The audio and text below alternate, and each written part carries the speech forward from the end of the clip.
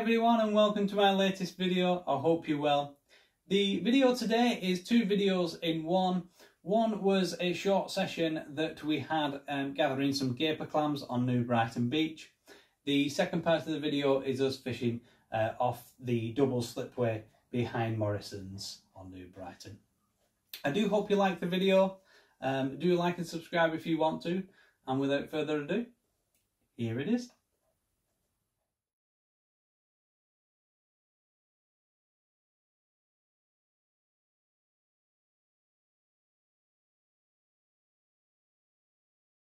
Everyone. Well, you join me on a very, very windy New Brighton beach. Now, I'll just show you absolutely littered with these gaper clams. Now, we're going to get a load of these and we're going to freeze them up for bait.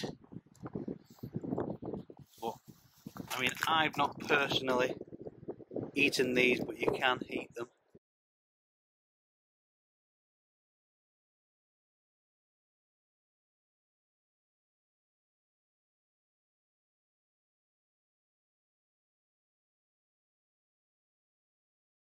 There's absolutely tons. I mean, it's not necessarily good for the ecosystem, but I suppose swings and roundabouts, and uh, probably see how that one's doing its thing.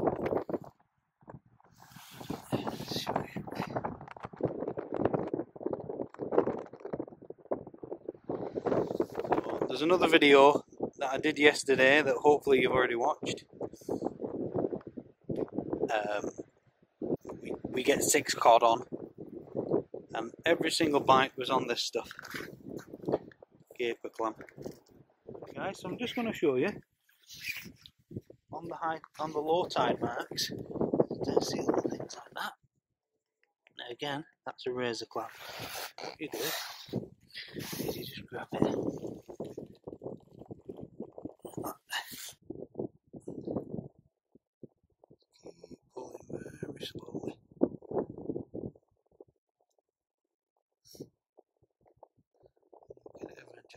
too hard or you'll pull the foot out.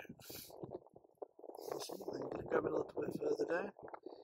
Keep pulling slowly, slowly, slowly. At this point it's going to want to dig in hard with its foot. Just keep pulling slowly. You will feel it release its foot like that.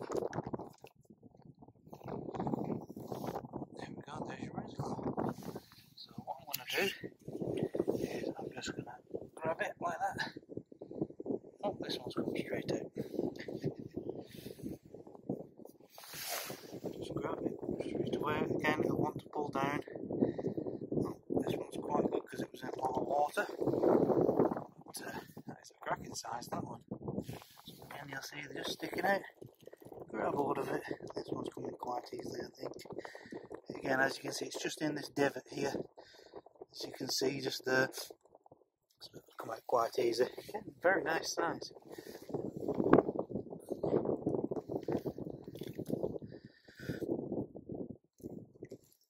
We'll let that one survive as only a small one.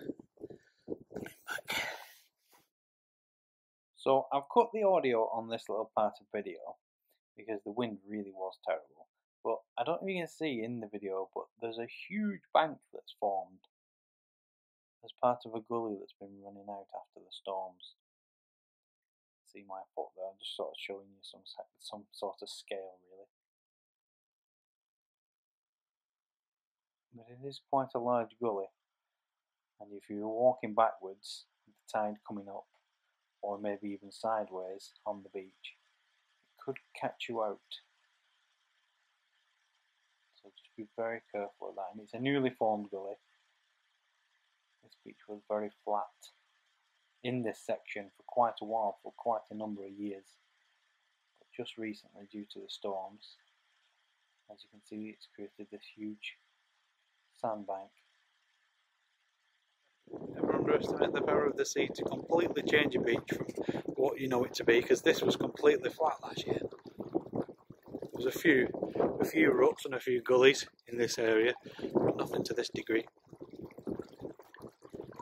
something you just always need to be aware of if you come back to a beach that you're not fished for a while, in the dark especially. Hi everyone. So we're just going to go and get some worm.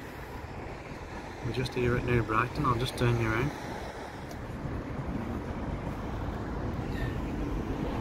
A bit dark. But, uh, all the gear in the car. I'll show you quickly the baits that we've got before we go and get some worms. So we've got a bit of mackerel and some gaper clams. We'll supplement that with some. Uh, we'll supplement uh, that with some uh, nice fresh worm if we can.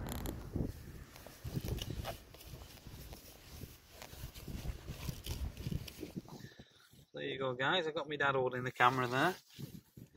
So this is what we do: we get to a nice sandy patch if it's not raining, dry them out like that It just helps keep them a little bit longer and then they're not really sat in all their juices because the juices of the other worm tend to kill the pals. So I'll just keep going through them. Got some belting worm today, I mean that's a small one.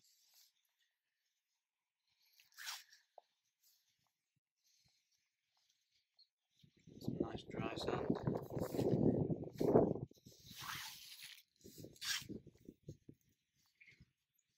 dad's doing good, good job of the camera work.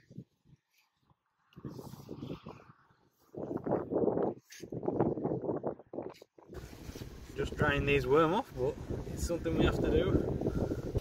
Anyway, leave me to this now and uh, it might see you for a brew and a cake. Catch you in a bit. Yes, so we decided to uh, do behind Morrison's on the double slip. I'll give you my reasons in a in a minute, but I'll just go and have a look to see if there's any uh, water to play with, and, uh, then we'll know what we're looking with time-wise. Right, I'll uh, catch you in a bit. You might just be able to see that the sea is quite a way out yet. So I'd say it's a a big brew and a big piece of cake away. You can just about see it there probably better with, the, with my torch off to be honest. Yeah, so you, there you go, you can just about see the tide line, you can probably hear the sea as well. Anyway, we'll get a brew and then we'll get some fishing done. Okay, so I'll just show you my new setup. Instead of having it in the back, I've gone for a, a bit of a countertop in here now. And so the rail there you see is for a, a little table fridge is there. The tap here, I'm going to mount that on the other side, get it out of the way. And then ready for the spring summer we can start using it as a bit of a camper. Anyway, I'll get a brew on.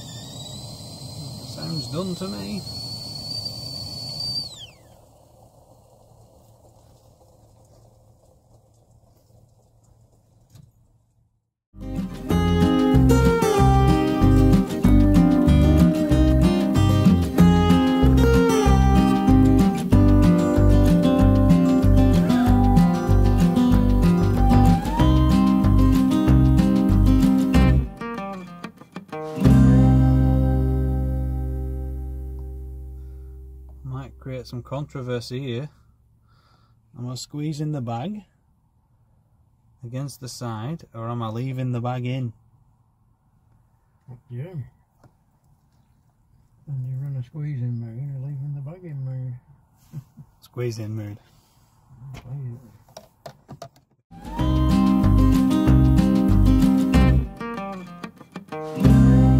So I think my dad was feeling a bit guilty that I didn't film our cake and a brew last time, so he's gonna made his own scones.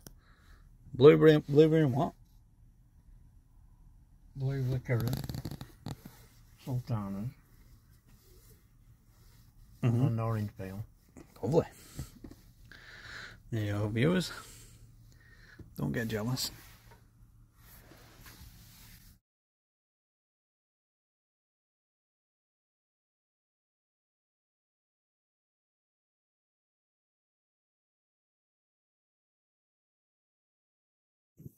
Guys, so we're fishing. We've not had any nibbles yet, but we've been in about five minutes. Show you the setup.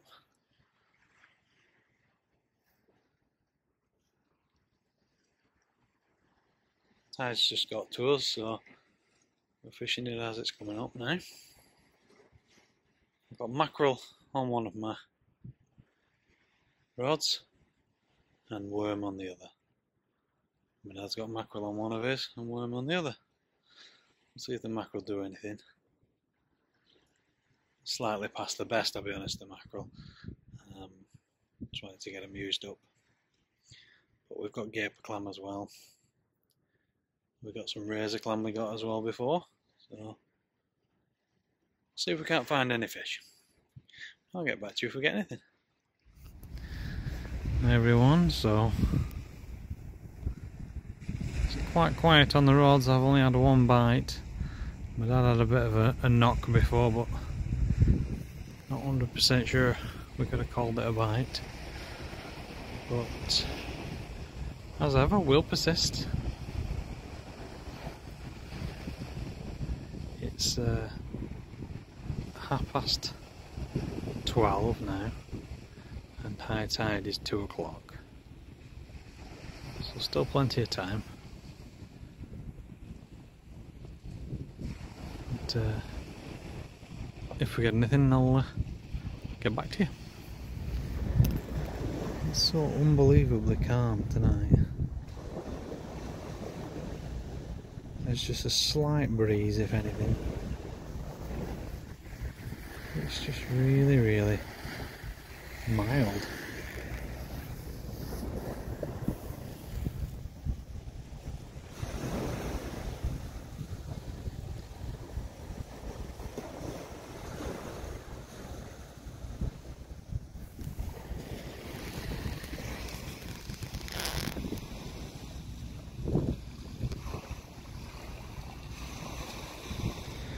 Well, this guy's helping to keep our baits uh, well eaten tonight.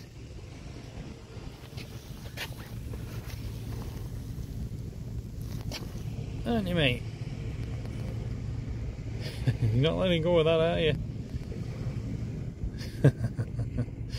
Let's get some new bait on and get back. Right, so we've got ourselves a fish. Just a, a whiting. I'll get him measured. Now I'll get him back.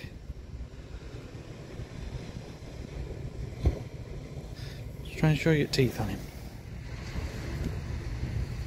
Yeah, pin sharp teeth on him there. anyway, I'll get him measured and I'll get him back. So we've just got a bit more movement in the water now. And, uh, so we've we've beat the blank at the very least with a, a whiting. So the movement in the water should hopefully bring them on now. Nothing's ever guaranteed obviously. But we're seeing bites as well now, so it's looking positive.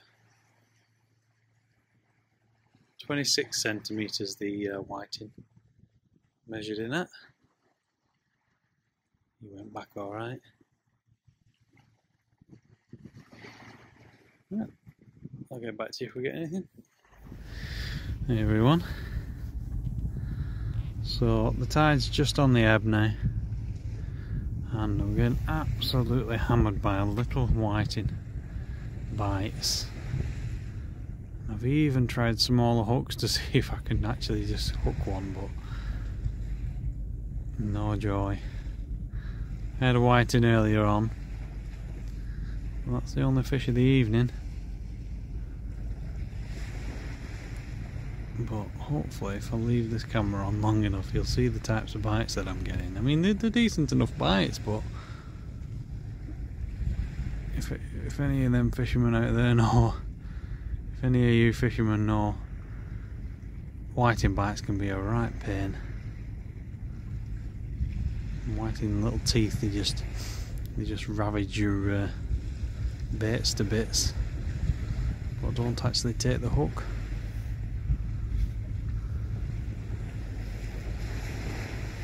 Like that. You see that bite there? Getting bites like that all the time. But as you can see, it's like a, a bite, bite, bite, then stop. There you go, see? I'll show you a bit closer.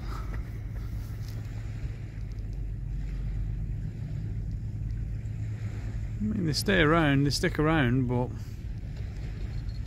again, it's nothing to bite, and that's another bite over there on that rod. I do apologise, but my rod cam, I didn't put the uh, I didn't put the SD card in the rod cam tonight, so there's going to be no um, time lapse footage, unfortunately. But uh, we've not had we've not had loads of fish to show you anyway, really, on the cam. So and hopefully we can we can show you some more fish before we go everyone so that's us done another session sorted only only thing is with this one we just saved the blank that's all we did on this one really just saved the blank with one little whiting but uh, we'll, we'll try again next time to get a few more. And something a little bit bigger if we can. But uh, yeah until next time. I'll see you later. Hi everyone. If you made it this far Thanks for watching the video. I do hope you liked it. I'll just go through with you now on the maps the different places we went in both videos. The beginning of the video where I showed the gully that's newly formed, I'll try and roughly show you on the beach as well where that is. So both the videos were filmed here at New Brighton. The first one being here on the beach and I'll show you the gully in a second and the other one being here behind Morrison's on the double slipway. So the first part of the video was filmed in two locations on New Brighton Beach. Uh, the first location was actually over this end here. We walked all the way along there to find the gaper clam at that end of the beach and then we came back over to this section here and that's where the gully that you saw on the video is. So I'll just give you a bit more information about this gully that's newly formed on the beach. It roughly is in this section here, not precise, but obviously just a bit in this section here. And the gully runs out like that. You will probably see it clearly during the day, but obviously be careful at night because that could that could potentially be something that you get stuck behind. So I've just moved the map over to here to the double slip. That's the double slip. And this here is where we actually gathered the gaper clam on the first part of the video. I'll just zoom in on that a little bit for you now. So as you can see, the double slip, that's what it's named after. Now we were fishing in this section again. Again, you can fish both sections and you can even fish off the top.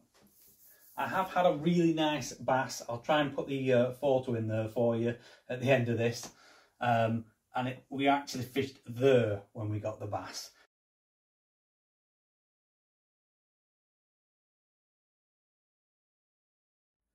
So just to finish off this little section, I'll just show you zoomed in here the car park that we parked on. It's just next to the boating lake here and there's a metal container there so you're aware of where it is. That car parking spot there was exactly where we parked that evening, and it's just a short hop over the wall there and a short walk there to the uh, slipway. Just there, you might be able to see that's where we uh, put all our stuff, and we just fish off of there. Well, that's about it for this video, and thanks for watching. I really do hope you liked the video. I do hope you like the other videos as well. And uh, if you haven't already done so, go check them out. Um, like always, I go through the maps on each one as well and um, and show you where we've fished on every session. Um, my dad appreciates every single comment that he he's getting as well, and that he's getting about his trolley and about the cakes and the brews. Um, I do hope you like the cake and brew section. We did it a little bit different this time for you. Um, I'm not sure it'll be that length each time. Uh, do like and subscribe if you want to, and uh, hit the bell notification icon if you want to be notified about our next videos. So until next time, see you later.